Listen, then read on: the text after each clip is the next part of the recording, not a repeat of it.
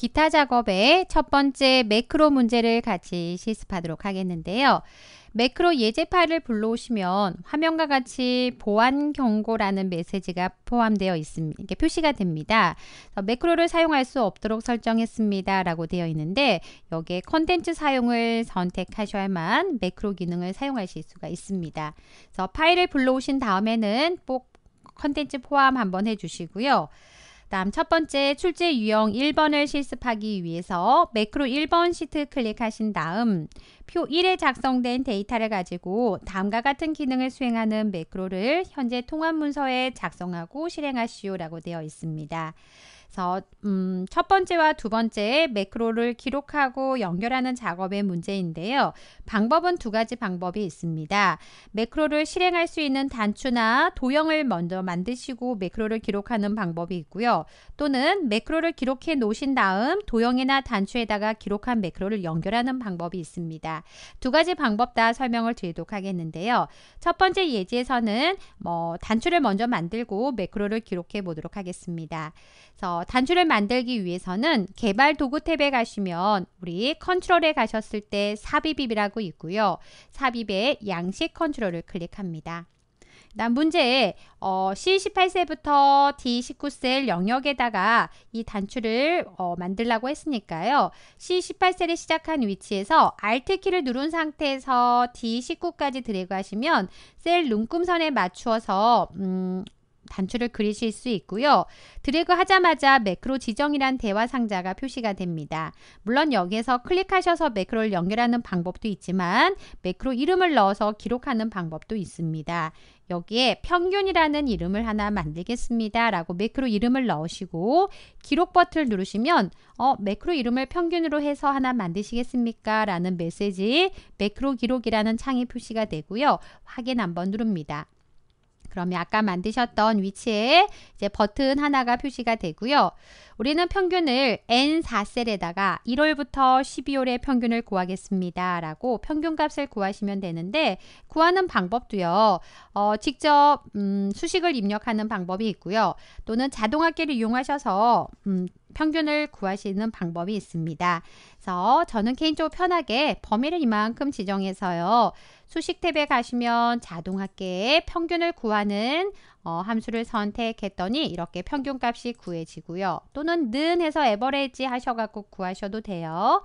그래서 평균을 다 구하셨다면 지금 내가 작업하고 있는 내용들은요. 매크로가 기록되고 있어요. 아래쪽에 기록 음, 중입니다라는 표시가 되어 있고요. 개발 도구 탭에도요. 어, 기록을 종료하시려면 매크로 기록을 중지합니다라는 어, 버, 단추가 있어요. 그래서 기록 중지 버튼 누르시면 아까 평균이라고 기록, 음, 매크로 이름을 넣으셨던 게 어, 매크로가 기록이 되고 이제 매크로, 매크로 기록이 종료가 되셨습니다. 이제 어, 평균값을 지워 보시고요. 그리고 단추 1을 누르시면 평균값이 구해져요. 매크로를 기록하셨던 거가 바로 연결까지 제거, 어, 진, 현재 진행이 된 거고요. 단추 1이라는 이름 대신에 문제에 나와 있는 텍스트 편집 마우스 오른쪽 버튼 눌러서 텍스트 편집 누르셔서요. 평균이라고 이름을 수정해 주시면 되겠습니다. 그래서 단추를 먼저 만들고 매크로 기록하는 방법을 설명을 드렸고 뒤쪽 예제에서는 반대로도 설명을 드리겠습니다. 어느 걸 사용하셔도 상관없고요. 여러분이 편한 방법을 사용하시면 되세요. 다음 두 번째 내용입니다. 음, 두 번째는 삽입에 가셔서 도형에 가셔서 사각형의 첫 번째 있는 직사각형을 선택하신 다음 F18부터 G19에 드래그 하시는데 그냥 이렇게 드래그 하시면 셀 눈금선에 맞춰지지 않으세요. 그래서 도형을 그리실 때는 키보드 Alt키를 누른 상태에서 크기 조절 드래그 하시면 정확하게 셀 눈금선에 맞춰서 도형을 그릴 수가 있습니다. 그래서 F18부터 G19 영역에 직사각형 하나를 만드셨고요. 도형에서 마우스 오른쪽 매크로 지정해 가셔가지고 매크로 이름을 하나 넣을까요? 매크로 이름을 서식이라고 이름을 입력하고요. 기록 버튼 누르시면 매크로 이름 서식이란 매크로 하나 만드시겠습니까? 라는 창이 하나 보이시고요. 확인 버튼 누릅니다.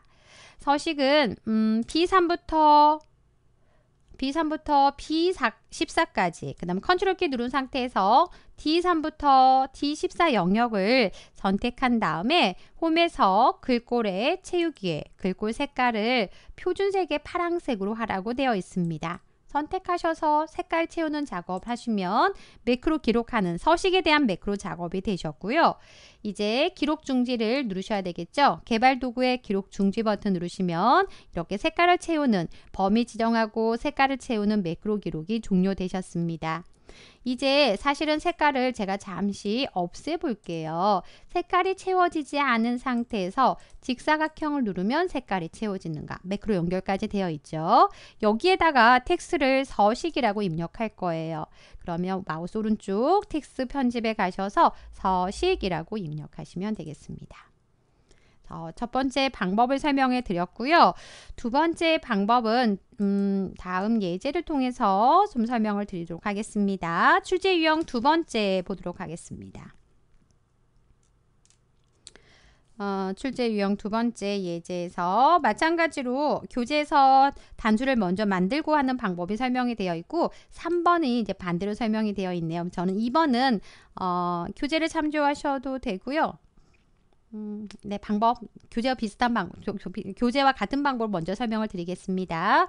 매크로를 만들기 위해서 개발 도구에 가셔서 삽입 탭에 음, 단추를 하나 선택하시고요. 이 단추는 A10부터 B11 영역에 만들겠습니다. 라고 어, Alt키를 누른 상태에서 A10부터 B11 영역에다가 드래그를 합니다. 그 다음 매크로 이름을 뭐라고 넣으시냐면 총점이라고 입력하시고 매크로를 만들겠습니다 라고 기록하시면 매크로 기록창이 보이시고 확인 한번 누릅니다. 총점을 구하겠습니다 라고 하시면요 소양 인증과 어, 직무 인증을 음, 더해서 계산하라고 되어 있네요. 문제에서 송점 이 4셀을 선택하시고 는 하신 다음 계산하기 위해서요. 소양 인증 더하기 직무 인증 엔터 아래까지 수식을 복사합니다. 이제 매크로 기록 중이잖아요. 이제 계산이 다 끝났으니까 기록 중지 버튼 눌러서 매크로 기록을 종료하시고요.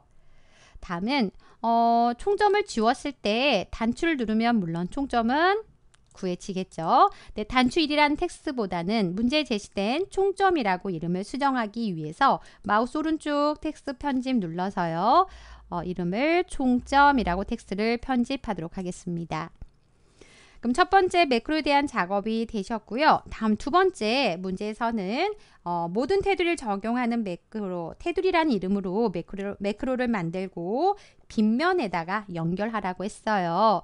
그래서 삽입에 가셔서 도형에 가셔서 기본 도형의 빗면을 선택합니다. 그 다음 D10부터 21 영역에다가 드래그 하신 다음 Alt키 누른 상태에서 드래그 하시면 셀 눈금선에 맞춰서 만들 수 있고요. 그 다음 마우스 오른쪽 매크로 지정을 누르셔서 이름을 테두리라고 넣습니다. 테두리 기록할게요. 기록.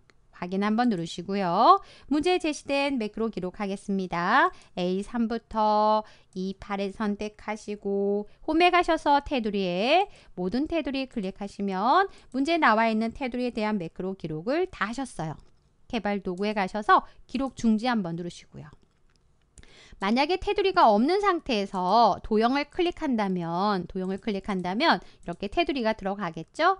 여기에 도형에 대한 텍스트가 좀 표시돼야 될 것 같습니다. 마우스 오른쪽 텍스트 편집 눌러서 테두리라고 넣으시면 되겠습니다.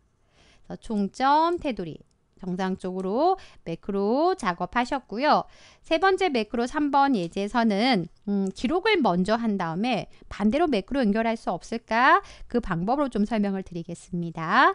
세 번째 문제 매크로를 작성하기 위해서 먼저 비어있는 셀 아무데나 클릭을 합니다. 간혹 어, 실수하는 게 미리 막 커서를 갖다 놓고 하시는 분들이 있으세요. 그러면 오류가 날 수 있으니까요. 어, 매크로를 먼저 기록하실 때는 항상 비어있는 셀을 선택하시고 개발 도구에 가시면 매크로 기록을 하겠습니다. 라고 하셔서요. 여기다가 내가 직접 이름을 넣으시면 돼요. 매크로 이름을 이 금액이라고 넣으시고요. 확인 한번 누르신 다음에 커서를 이제 F4에다 갖다 놓습니다. 이 금액은 판매 금액 마이너스 매입 금액입니다. 엔터 아래까지 수식을 복사하시면 이 금액에 대한 매크로 기록을 다 하셨어요. 이제 매크로 그만 이제 더 안 해도 될 것 같은데요. 기록 중지 버튼 눌러서 매크로 기록을 종료하시고요. 어, 이제 매크로를 실행할 수 있는 단추 하나가 필요한데 삽입에 단추 누르셔서요. 위치는 어디다가 만들 거냐면요. B13부터 C14 드래그합니다. B13부터 C14 드래그하시고 이제 매크로를 선택만 하시면 돼요. 만들어 놨기 때문에 이 금액이란 매크로를 어, 실행하고 싶은데요. 라고 확인하시고 어, 이럴 때 장점은 텍스트 편집을 하지 않고 바로 텍스트 입력할 수 있는 장점이 있어요. 이 금액이라고 입력하시면 텍스트가 바로 편집하실 수 있습니다. 그래서 금액을 한번 지워보고요. 단추 누르시면 정상적으로 실행되는지 되시나요? 다음 두 번째 매크로입니다. 내가 기록을 먼저 해볼까요? 개발 도구에 매크로 기록. 매크로 이름을 셀 스타일이라고 이름을 넣겠습니다. 확인. 그리고 나서 범위는 A3부터 F3을 선택하시고 어, 홈에 가셔서 셀 스타일에 가셔서 강조색 1번으로 하겠습니다. 라고 하신 다음 네, 어, 서식 넣는 작업만 하시면 되네요. 다 되셨다면 개발 도구의 기록 중지 버튼 눌러서 매크로 기록은 종료합니다. 다음 조금 전에 셀 스타일에 대한 매크로 만드신 거를 어, 실행할 수 있는 도형 하나를 만들도록 하겠는데요. 삽입에 가시면 음, 도형이라고 있고요. 사각형에 모서리가 둥근 직사각형을 선택하셔서 E13부터 F14 영역에다가 드래그합니다. 그리고 나서 어, 바로 셀 스타일, 그러니까 버튼이든 도형이든 드래그 하자마자 바로 텍스트 입력하시면 돼요. 그리고 나서 입력하신 다음 마우스 오른쪽 매크로 지정에 가셔서 어, 조금 전에 기록했던 셀 스타일을 연결만 하고 싶은데요 라고 선택하고 확인하시면 어, 스타일을 다른 스타일로 한번 바꿔 볼게요. 뭐 강조색 2번으로 해놓은 다음에 셀 스타일 누르면 셀 스타일 강조색 1번으로 바로 바뀝니다. 메이크 맥 누르면 구해질 거고요. 그래서 매크로 기록하고 연결할 수 있는 단추나 도형을 만드는 문제가 출제가 되는데 문제에서 어떤 방법도 상관없어요. 앞에서 실습하셨던 방법처럼 나는 버튼이나 도형을 먼저 만들어서 어, 매크로를 기록하겠다 하는 방법이 있고요. 세 번째 연습하셨던 방법처럼 매크로 기록을 먼저 해놓고 나중에 어, 버튼이나 도형에 연결할 거야. 여러분이 실습하시면서 익숙한 방법을 사용하시면 돼요. 어, 교재에 두 가지 방법을 제시했을까? 이런 방법도 있다라고 알려드리기 위해서 어, 첫 번째, 두 번째 방법으로 둘 다 교재 예제를 좀 설명을 드려봤습니다. 여러분이 편하신 방법을 사용해서 매크로 문제 작성하시면 되겠습니다.